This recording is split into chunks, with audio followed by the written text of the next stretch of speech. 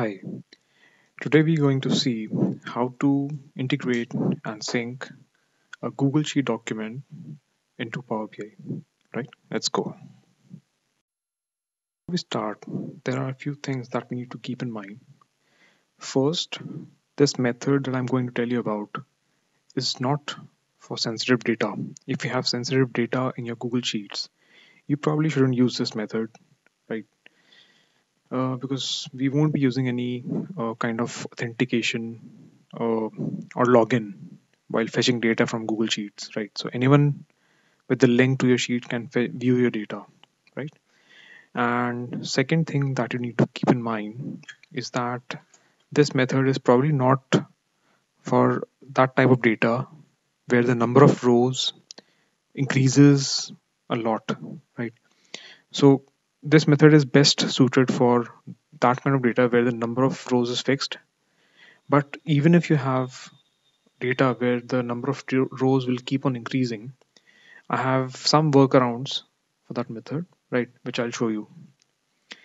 Of course, uh, if you want to go for proper methods, uh, there are some other methods also available, like you know using the API, Google Sheets API, or using credentials and all.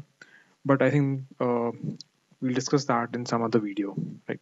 So let's start with how to uh, export your data from sheets to Power BI okay so what you have over here is a sample sheet that I've made right?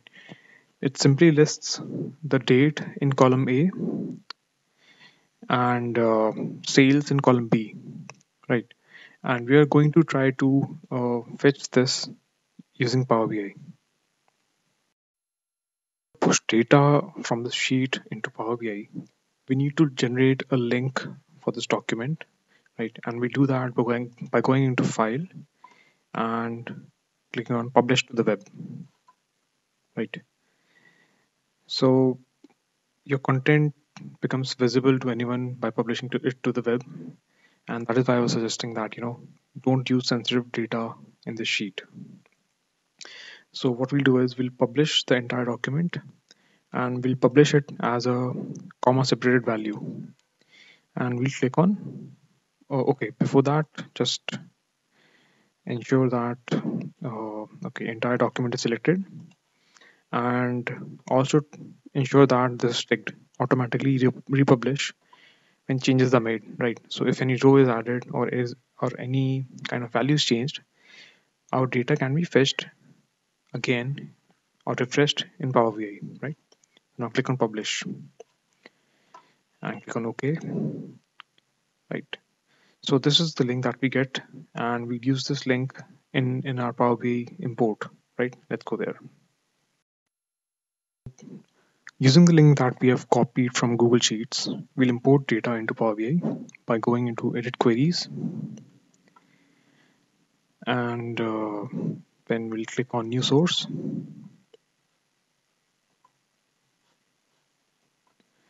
We'll search for import from web this thing. Click on connect. Right and we'll paste our URL here. Ensure that this is the last words spell out output equal to CSV over here. Right like this and click on OK.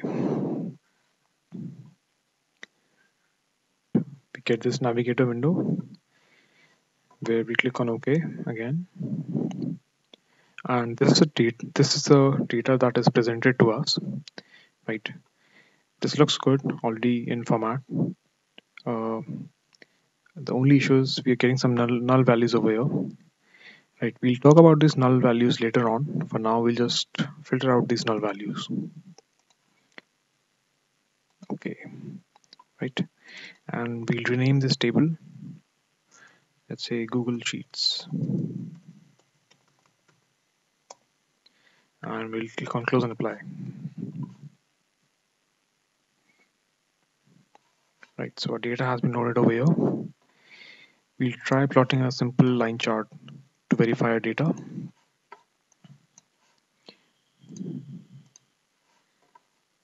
and we'll just move the date hierarchy over here. Great. So yes all our data is coming perfectly over here right? So yeah so that's that these these are the basic steps by which you can import data from google sheets into power bi right? Now we'll talk about uh, a scenario where the data the where the number of rows in your data are increasing right? So we'll talk about how to refresh this data right? How to get new values from google sheets into this data. What i've done now is i've added three more rows these three rows over here to the google sheet document right? And we're trying to force our document to refresh the data to fetch these three extra rows, right? So we'll go to Power BI. And uh, so we over here we have data till 10th March only, but we need to fetch data till 13th March as shown in the document, right? So uh, we'll click on refresh, right? It will fetch the updated data from Google Sheets and it will show these three extra values in our line chart. So that, that is how we refresh data uh, from you know from within Google Sheets into Power BI. Right.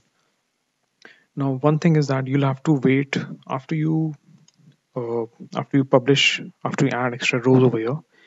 You might need to wait uh, at least five or ten minutes for it to you know reflect or get published by Google Sheets right. It, it won't it may not uh, immediately refresh within power bi so you might need to wait. So that is one thing. The second thing is that uh, uh, sometimes power bi will have a problem recognizing new rows from google sheets right? Sometimes it thinks that uh, our data is only till the initially fetched number of rows. That means till march 10th it won't recognize data from march 11th right? So we need to tell we need to find a way to tell Power BI that you know our data will get added beyond the initial number of rows. For that there's a workaround I found. What we can do is we can simply create a blank row uh, you know much later uh, in the document. So for example I go down by pressing control down and I simply uh, input a blank row over here by pressing space right? So this has become a blank row right?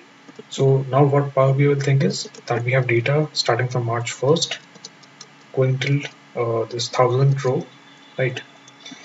For us it will be blank and we can keep adding new rows beyond this but uh, while fetching it into Power BI right? If we go to edit queries it will think that uh, you know we have data beyond uh, 11th March itself. Like remember we filtered out uh, these null values? These are basically empty rows till the uh, thousand uh, number of rows right? So that is why we filter out null values. So now you can go ahead and you know add keep adding data to these uh, to these to the sheet. And Power BI can you know keep on uh, fetching new rows uh, as they're added. So yes, that is how you, you know, get data uh, from Google Sheets into Power BI. Thank you for watching my video. I hope you found this informative. And uh, that's it. Make sure you subscribe to the channel, you know, and I'll see you later. Goodbye.